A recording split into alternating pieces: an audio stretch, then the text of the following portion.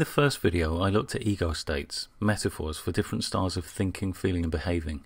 I touched on controlling, nurturing, adapted, and free styles, referred to in TA as parent and child, and contrasted them with the adult.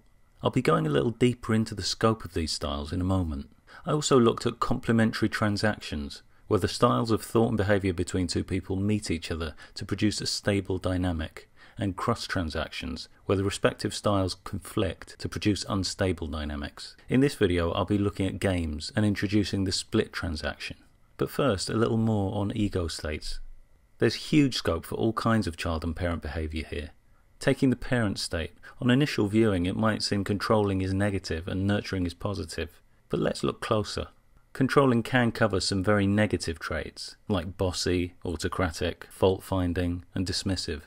But it can also lead to positive experiences, where structure and direction is needed. Criticism can be given in constructive, considerate ways.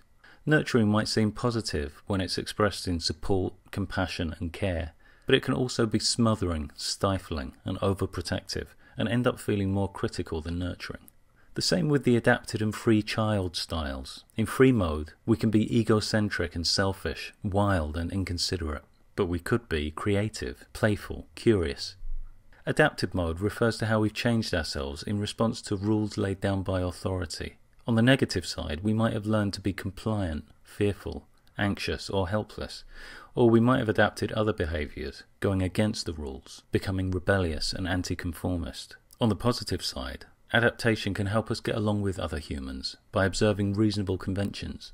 Of course, with all of these factors, there are degrees. Take compliance. Like every factor here, it can range from weak to strong. Compliance can be expressed in many ways. It can be passive, reacting to people's wishes, or anticipatory, predicting people's wishes. The scope of human behaviour here is vast, which is great news for dealing with games. Rather than being locked into two or three fixed responses, there's huge room for creativity and individuality. Here's a scenario. Person A says they have some problem. Person B starts suggesting solutions. One by one, person A rejects every single one of them, giving a reason why each solution wouldn't work. B eventually runs out of ideas. A quips, Well, you're a great help. This is a classic game, known in TA as the Why Don't You Yes But game. In his book Games People Play, TA's founder, Eric Berne, outlined many such games. So why is it a game? Well, because what was being said didn't match what was going on psychologically. On the surface, from their conversation, it might be thought that A was looking for help and B was offering it. But underneath, A didn't want help at all. What A actually wanted was attention and justification of her own inaction. What was going on with the ego states here? Well, on the social level, it looked like adult adult. B was offering reasonable, practical adult suggestions, and A was pointing out reasonable, practical flaws. But beneath that, on the psychological level, A's coming from a helpless, victimy child position, and B's responding to that tug by adopting a rescuing parent style. This is what's known as a split transaction, reflecting the split between surface appearances and ulterior motives. A brings the game to an end, changing to a critical parent, with B changing to helpless child. This change of states at the end of a game is known as the switch. The switch is followed by what's known as the cross up, a period of disorientation when the target of the game realizes they've just been had. Now come the payoffs, with the game's instigator feeling justified and superior, while B feels de-skilled and foolish. Games can be played to different degrees. TA proposes three broad levels. First degree games are the mildest forms, and feel acceptable in the player's social group. Players in second degree games prefer to distance themselves from the game and don't share it with people they know. Third degree games can lead to injury, death, and criminal charges. Some suggest there's a fourth degree, played through politics, affecting communities, nations, and the planet. TA suggests all parties in games are active participants and sees the initiator's target not as a powerless victim, but as a very engaged player.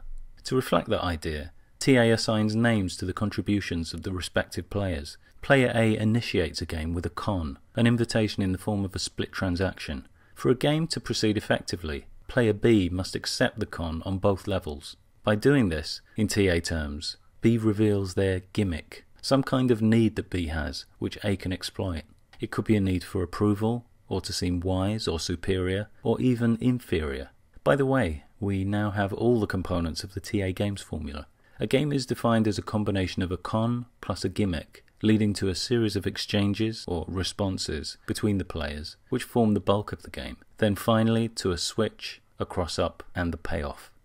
Stephen Karpman provided another way to conceptualize games in his famous drama triangle, employing the three dramatic roles of victim, persecutor, and rescuer.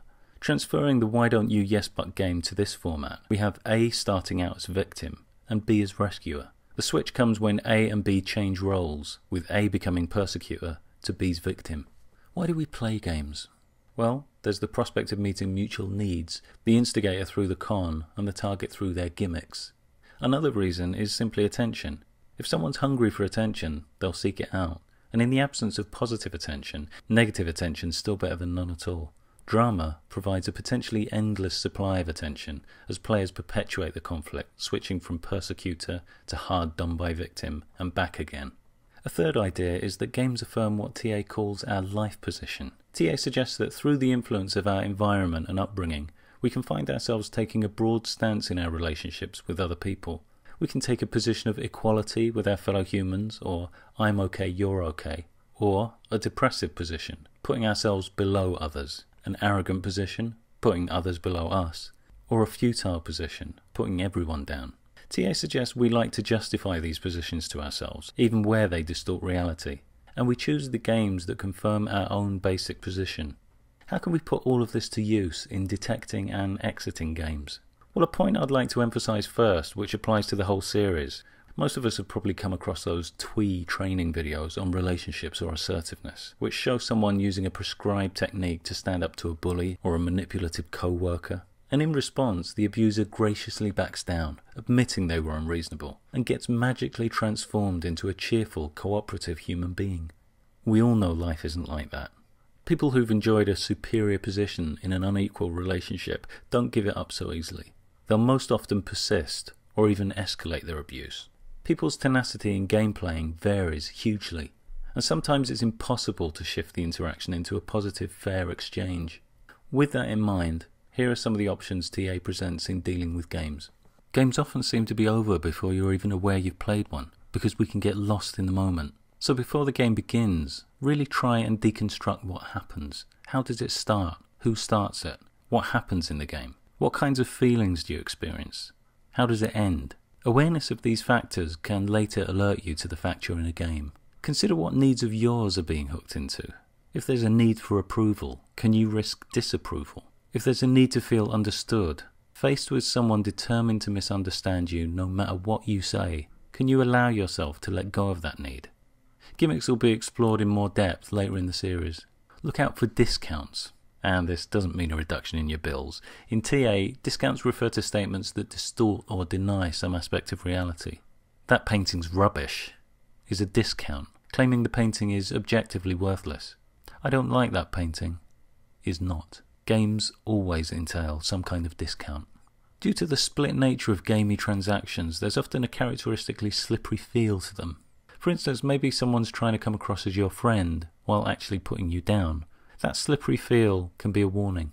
If you become aware that you're in a game, there are various options to consider. You could share your awareness of the game with the other player and invite them to step out of it with you. Respond from adult. Taking the original why don't you yes but scenario, the parent component here shows itself in B's assumption that he can think of solutions A hasn't thought of. Take that parent component away and let's see what we're left with. Here, B gives A credit for finding her own solutions. A now has no ideas to reject. You could respond from different states than the one the game seems to invite. This refers back to the negative and positive aspects of the parent and child discussed earlier. Here are four examples of alternative ego responses to the why don't you yes but game. The negative controlling parent delivers a dismissive, persecuting rebuke. The positive controlling parent challenges A's initial discount that the task is impossible and directs A to give it a go in an encouraging way. The negative nurturing parent leaps in to rescue, and this is the most likely to cross over into why don't you, yes but. The positive nurturing parent is willing to help, but invites A to give the direction. In this way, A retains responsibility for the problem. If someone's determined to persist, despite reasonable responses and the repeated communication of boundaries, the best move might be to just flat out unplug from them. there's little to be gained by reasoning with people who are stuck in a dramatic role. This video has touched on some of TA's ideas about games. In the next video, I'll take a closer look at gimmicks.